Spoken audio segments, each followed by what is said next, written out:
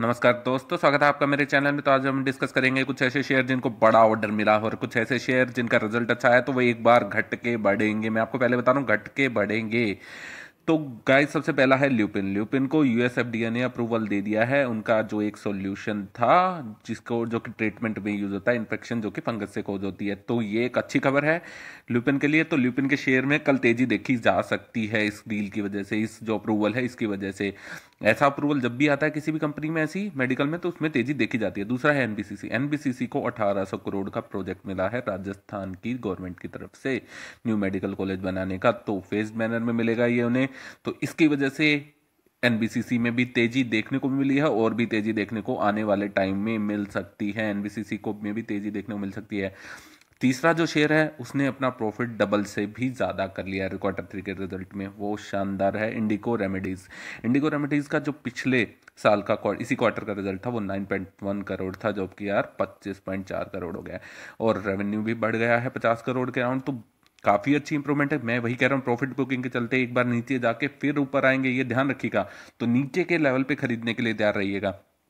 दूसरा है P pipe ये जो है, इसने भी अपना प्रॉफिट दुगने से भी ज़्यादा कर लिया है। पिछले साल इसका ढाई करोड़ का था, इस बार सात पॉइंट एक करोड़ का है प्रॉफिट और इसका रेवेन्यू भी बढ़ा है बीस करोड़ के अराउंड तो सारी चीज़ों में इंप्रूवमेंट है। मैं दोबारा आप लोगों को बताना चाहूँगा कि ये शेयर से एक बार नीचे जाएँगे प्रॉफिट बुकिंग के चलते, फिर ऊपर जाएँगे।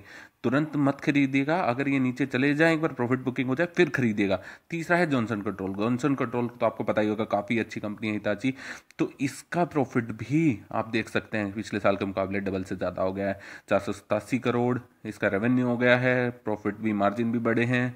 तो ये ध्यान रखिए, ये एक ब्लू चिप कंपनी है। ये काफ़ी इस पर ध्यान रखिएगा, ये ऊपर जाएगी। चौथी जो कंपनी है, वो है गार्डन रीच जिसका जब रिज़ल्ट आया तो वो नीचे गया प्रॉफिट बुकिंग के चलते। ये ऑब्वियस था, होता ही है।